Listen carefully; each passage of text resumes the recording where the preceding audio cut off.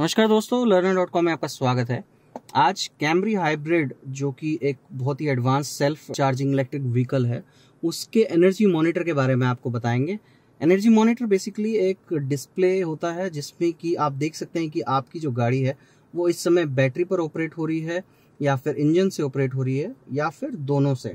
और साथ ही ये भी पता लगता है कि किस समय बैटरी चार्ज की जा रही है ऑटोमेटिकली तो इन सब चीज़ों को देखने के लिए, हालाँकि गाड़ी चलाते समय आप पर्सनली इन चीज़ों को अगर ना भी देखें तो भी चलता है बट स्टिल अगर आप जानना चाहते हैं तो उसके लिए आप एनर्जी मॉनिटर स्क्रीन पर जा सकते हैं।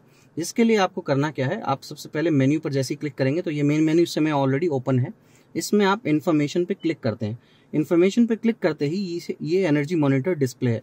तो इसमें आप इस समय देख सकते हैं गाड़ी इस समय पे ऑलरेडी हम इग्निशन इसका ऑन कर चुके हैं। बट क्योंकि ये हाइब्रिड व्हीकल है तो इसमें इलेक्ट्रिक एज एन इंजन जो होता है, वो स्टार्ट नहीं होता है। तो इस करंट कंडीशन में vehicle is ready to drive but अभी कोई भी मूवमेंट नहीं दिखाई दे रही है and battery around 50 percent charge है। अब देखें आप तो जैसे ही गाड़ी काफ़ी देर से अभी इसमें स्टार्ट थी तो इंजन ऑटोमेटिकली स्टार्ट हो गया है, और अब वो बैटरी को चार्ज करने लग गया है।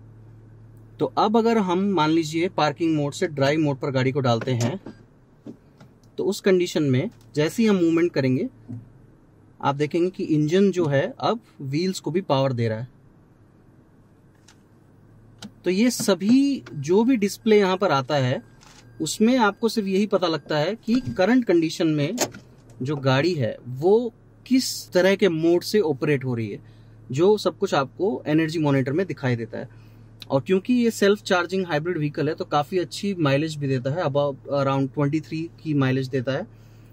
एंड सेम uh, चीज़ आप एनर्जी मॉनिटर के थ्रू देख सकते हैं। आई होप आपको ये वीडियो समझ में आया होगा तो हमें सपोर्ट करने के लिए प्लीज़ हमारे चैनल को सब्सक्राइब कीजिए। Thank you very much